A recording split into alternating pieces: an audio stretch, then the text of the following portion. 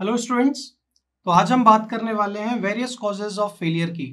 अब flexible pavement हमने समझ लिया, जान लिया, उसके फ़ायदे, नुकसान की बात कर ली, कैसे डिज़ाइन करते हैं, उस टाइम पे कौन कौन से फैक्टर्स कंसीडर करते हैं, ये जान लिया।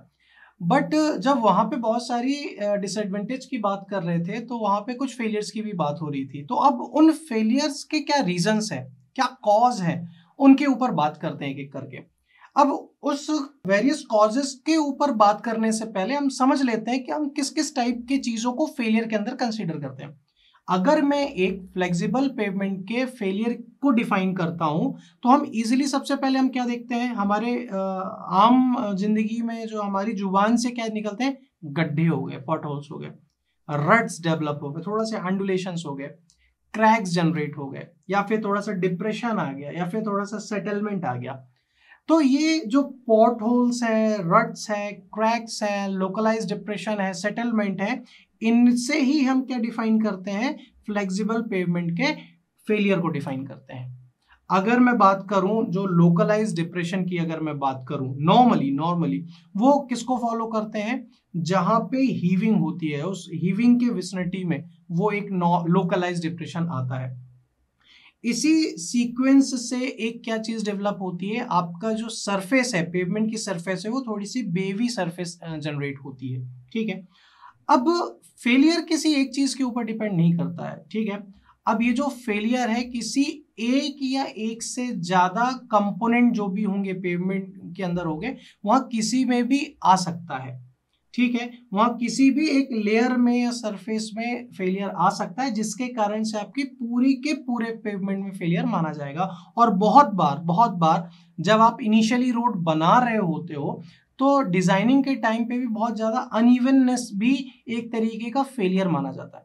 बहुत जगह ये अनइवननेस ट्रैफ़िक के एप्लीकेशंस के बाद होती है बट बहुत बार क्या होता है, जब आप बना रहे होते हो और आपको एक स्किल्ड लेबर नहीं मिलती है या फिर एक सही, एक इंजीनियरिंग पर्सपेक्टिव नहीं मिलता है नॉलेज नहीं मिलता है तो डिज़ाइनिंग के टाइम पे मैनो बनाने के टाइम पे ही वो अनइवननेस आ जाती है तो जिसको हम क्या मान के चलते हैं, एक तरीके का फेलियर ही मान के चलते हैं। अब यहाँ पे बहुत सारी डाइस्ट्रेस वगैरह जनरेट होती हैं, जो कि अलग अलग डिटोरिएशन और फेलियर को शो करती हैं, और बहुत सारा कहीं ना कहीं ये डाइस्ट्रेस या फिर ये सारी चीज़ें कंट्रीब्यूट करती हैं, है ना? हालाँकि अलग अलग एक सेवरल फैक्टर्स हैं। दूसरी चीज़ ये कि जो बिटुमिनस फिल्म्स है, वो बिटुमिनस फिल्म्स के अंदर भी जो भी ऑक्सीडेशन है एजिंग है, जिसके कारण से बिटुमिनस के जो पेवमेंट है, उसके अंदर भी डिटोरिएशन आता है। अलग अलग डेट्रीमेंटल एक्शंस होते हैं उसके अंदर। क्यों? क्योंकि वाटर जो होता है बिटुमिन के वॉइड्स के अंदर जाके सेटल हो जाता है और वो कहीं ना कहीं रुका हुआ जो वॉइड्स में पानी है, वो कहीं ना कहीं उसको क्या करता है? खराब कर रहा होता है या फिर कमज़ोर कर रहा होता है, जो कि किसी भी स्मॉल अमाउंट ऑफ़ लोडिंग के अंदर क्या हो जाता है, वो फेल कर जाता है या फिर क्रैक्स जनरेट हो जाते हैं या फिर आनी तो अगर पेवमेंट सीमेंट कंक्रीट पेवमेंट है, वहाँ पे ज्वाइंट्स है तो वहाँ पे भी वो क्रैक्स वगैरह जनरेट होने लगते हैं। तो कुल मिला के ये एक बेसिक अंडरस्टैंडिंग थी बैकग्राउंड का कि आप फेलियर किस चीज़ को कंसिडर कर रहे हो। अब हम बात करेंगे वेरियस कॉजेज ऑफ़ फेलियर की, है ना? तो अगर मैं सबसे पहली बात करूँ तो ये क्या हो जाएगा? लॉन्गिट्यूडनल क्रैकिंग क्या हो जाएगा ये? लॉन्गिट्यूडनल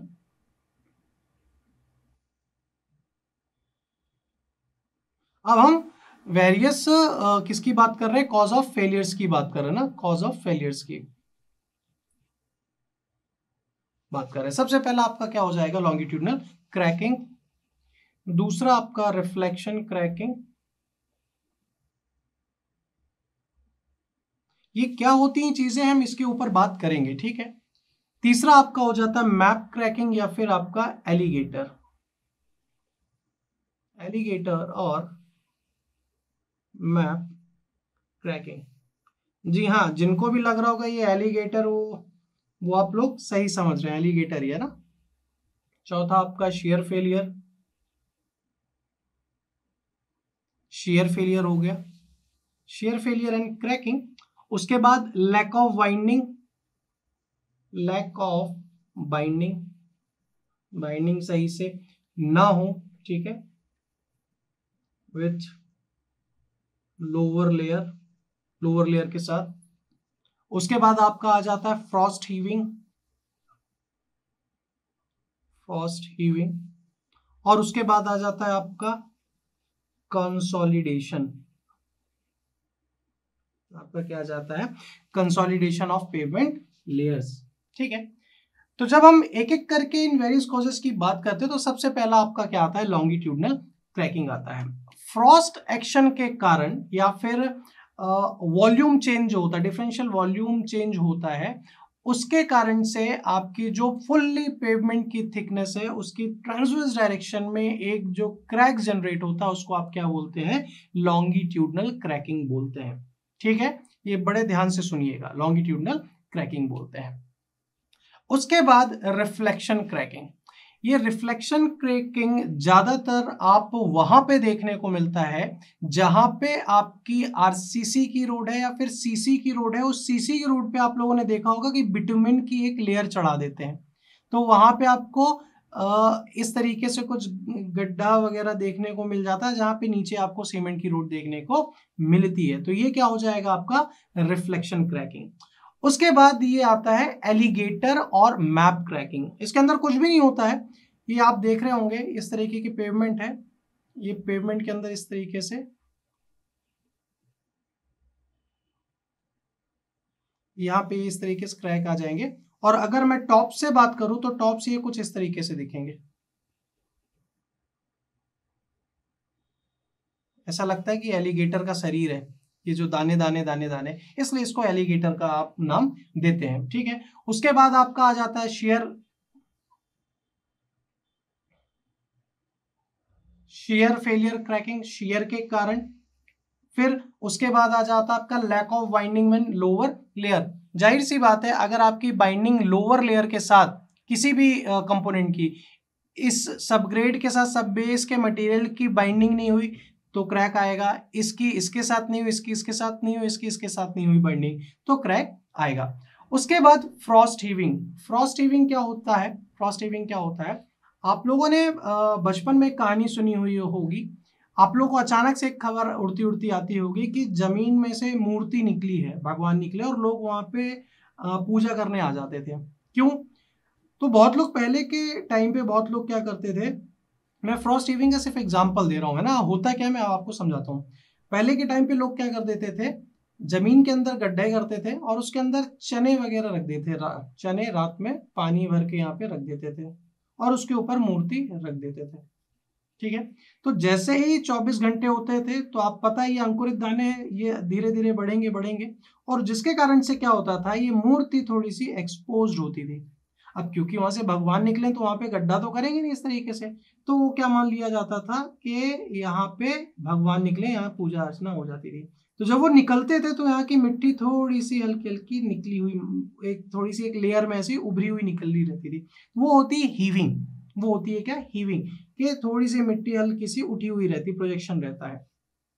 अब जब मैं फ्रॉस्ट हीविंग की बात करता हूँ तो क्या होता है, जो अंदर पानी मॉइस्चर है मिट्टी के अंदर, जब टेम्परेचर कम होगा, ज़ाहिर सी बात है, वो लिक्विड सॉलिड में कन्वर्ट होगा, बर्फ़ में कन्वर्ट होगा। तो जब बर्फ़, पानी जो बर्फ़ बनेगा तो बर्फ़ बनेगा तो एक अपने आप को स्पेस लेगा तो स्पे जब वो स्पेस लेता है जब उसके अंदर सॉलिडिफिकेशन होता है उस मॉइस्चर का तो वो क्या करता है? मिट्टी को उखाड़ता है। तो उसका क्या होता है? वो फ्रॉस्ट हीविंग है, जो कि क्या करेगा? सब ग्रेड को या सब बेस को वो डिस्टर्ब करेगा, जिसके कारण से क्या होगा? लोड के कारण वो वीक जगह पे, जहाँ पे उसके कोऑर्डिनेट्स टूट गए हैं, वहीं से डिफॉर्मेशन आना स्टार्ट हो जाएगा। और लास्ट आपका कंसोलिडेशन कंसोलिडेशन जो कि आप सॉइल मैकेनिक्स के अंदर पढ़ेंगे बट फिर भी मैं एक ओवरव्यू दे देता हूँ। कंसोलिडेशन एक टाइम डिपेंडेंट प्रोसेस होती है, जिसके अंदर आप क्या करते हैं एयर को आप एयर को पोर्स से हटाते हैं, ठीक है? सॉरी वाटर का जो रिडक्शन होता है, वो कंसोलिडेशन के अंदर ऐसा होता है। तो अलग अलग लेयर्स है तो अलग अलग लेयर्स के अंदर वाटर है, ज़ाहिर सी बात है लोडिंग आएगी लोडिंग कारण क्या होगा? पानी का रिडक्शन होगा तो उस प्रोसेस को आप क्या बोलते हैं? कंसोलिडेशन तो ये कुछ वेरियस कॉजेज ऑफ़ फेलियर हैं आपके फ्लेक्सिबल पेमेंट के, जो कि आज हमने डिस्कस किए हैं। आई होप आपको समझ में आया होगा। आज के लिए इतना ही। Thank you very much